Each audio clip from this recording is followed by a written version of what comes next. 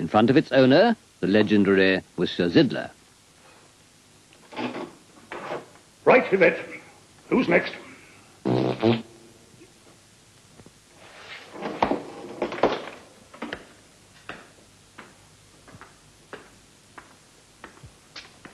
Who did that? I did, sir. Allow me to introduce myself, Joseph Pujol, Le Petomane. Where are all the others? He's driven them all away. I'm a very busy man. I can give you two minutes. What do you do? I, sir, am an impressionist. Get out. I've got hundreds of them. One moment, sir. I am not an ordinary impressionist. I am unique. In fact, I'll go further. I'm fantastic. I am an anal impressionist.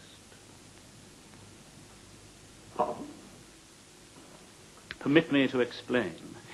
The good Lord has seen fit to bless me with an elastic anus, such that I am able to open and close it at will. Consequently, I can inhale vast quantities of air. You breathe through your arse? Uh, in a way, yes. And by controlling the muscles, I can expel the air, and so produce a variety of different sounds. Now, just one moment. Let me get this quite straight. You're telling me that you can fart. That is a word I prefer not to use. Uh, I am an artist. I give demonstrations of petomania. Will you allow me to illustrate them? First, I inhaled the air.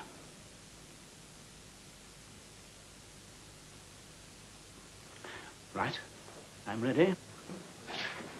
Absolutely unnecessary. My performance is odorless.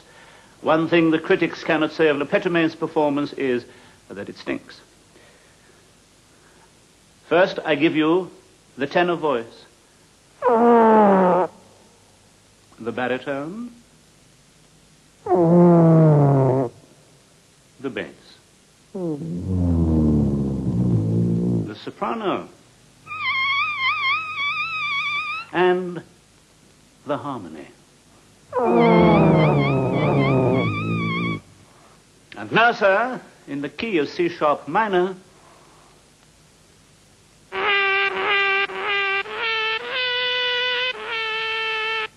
That's fantastic. Can you play La Marseillaise?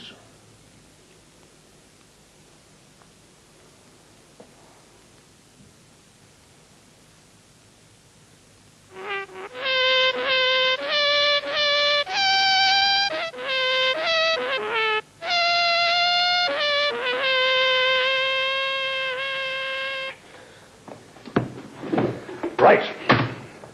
You're booked. So Zidler signed him on the spot, and he opened that same night. He was an instant success.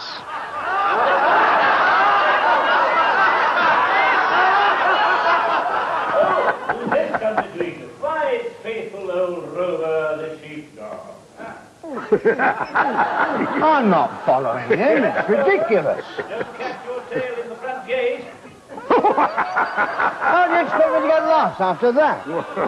Either you put me on in the first half, or you pay me off now. I'll return home after a busy night's hunting. The Petomane's success was sealed.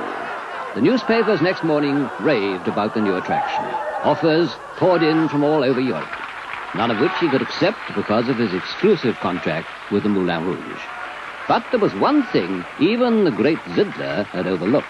The wind-up gramophone and the flat disc had arrived, the new wonder of the age. The world's greatest artists flocked to the studios to be immortalized on wax. Caruso, Dame Clara Butt,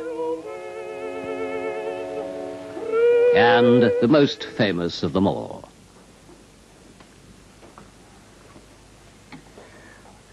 have a sample for balance, please?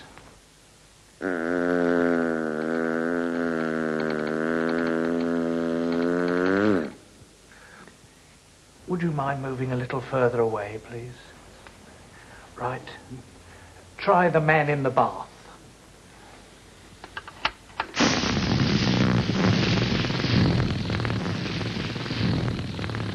Perfect.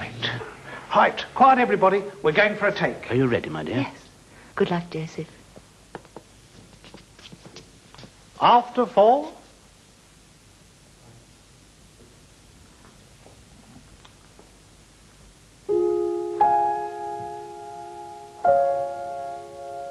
Oh.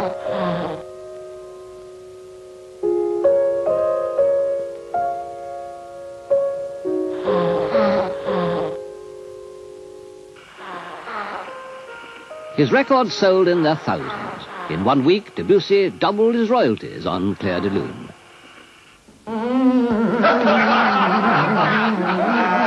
There were, of course, many important personages who couldn't afford to be seen in public witnessing such an act. So, for their benefit, Pujol would give private performances. And, gentlemen, no trickery. A particular favorite of mine, sir, the San Francisco earthquake.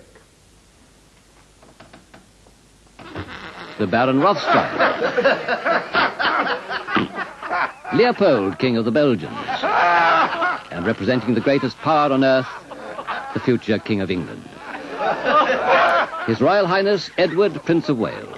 Pujol's first Royal Command performance. Thank you, thank you. You're most kind. And now, to conclude the evening's entertainment, gentlemen, Your Royal Highnesses, I have enough left for. Yes, just one more. Whatever you wish, sir. I will attempt anything within my range. My mother's Gilly sitting on his bagpipes.